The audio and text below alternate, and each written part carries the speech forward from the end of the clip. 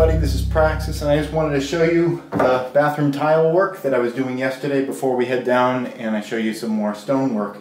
Uh, you can see all the grouts in and I've just been giving pass after pass, you know, every couple hours yesterday of just clean water, just trying to get that up off of the, the surface. At this point, uh, none of that dust is stuck there. Uh, I just, it's going to be a matter of you know, washings and trying to keep the walls as, as uh, clean as I can. I've got tape up there, but, you know, gosh, you know, if I made the tape go a little bit higher, it might have been easier. But anyway, that's that. Let's go downstairs.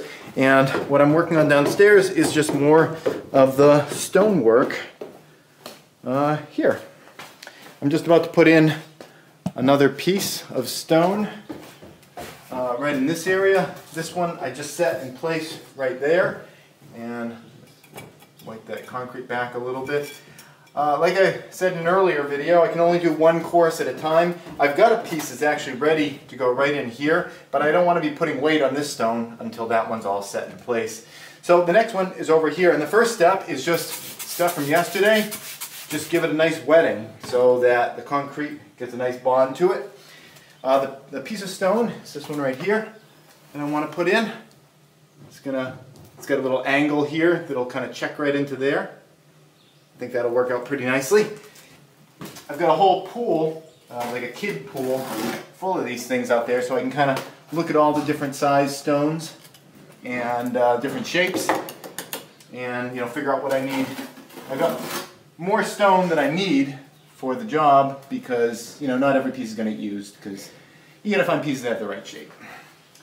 For this one, since this one's not too tall, I'm not going to bother doing a bunch of uh, pushing up of the, the mortar on the back. I, I might just do just a little bit here at the bottom, but most of that's going to get filled in just by dropping the concrete in from the top.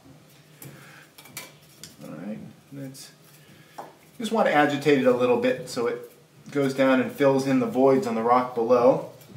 The rock above is going to be moving, but the rock below is set, so I want to just give that a little bit of motion by, uh, by wiggling the cement around. Okay.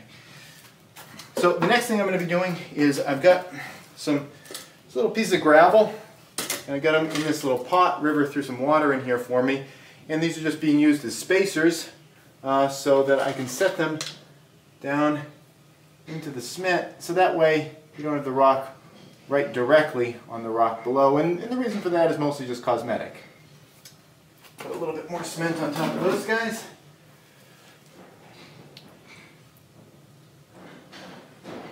Because the, the, the stone is going to have spaces on the sides, and it's nice to have spaces above and below as well.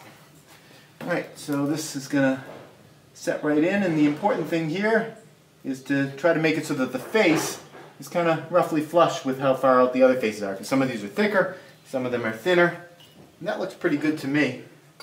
Uh, before I before I put the brick to retain it though, just want to kind of push in here, get the, the cement. I don't care if this looks beautiful on the front.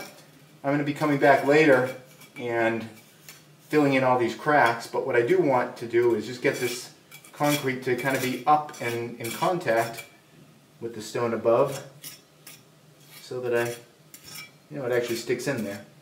Okay, there we go. Notice I have cardboard down here because I was doing some dripping.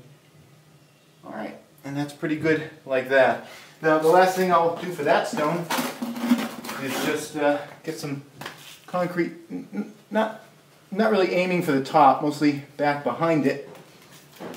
I want to get some concrete into the back there so that this stone can not only be attached to the stone below it, but also to uh, the metal mesh here. And again, same kind of thing, just a jiggle motion, and that gets the concrete to flow right down in there. And it doesn't matter if it gets completely filled in. You know, as long as you get a good grab, you should be fine. So that's it, day after day after day. Eventually, we'll get up to the peak. That's it. Thanks for watching.